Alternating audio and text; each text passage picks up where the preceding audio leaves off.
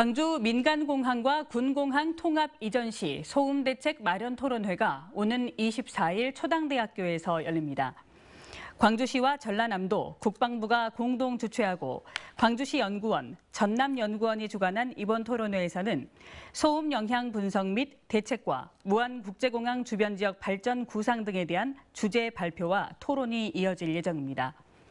강기정 광주시장과 김영록 전남지사는 지난해 12월에 만나 광주 민간공항과 군공항의 무안국제공합 통합 이전에 대해서 무안 군민의 공감을 얻을 수 있도록 함께 소통하고 노력하기로 했었습니다.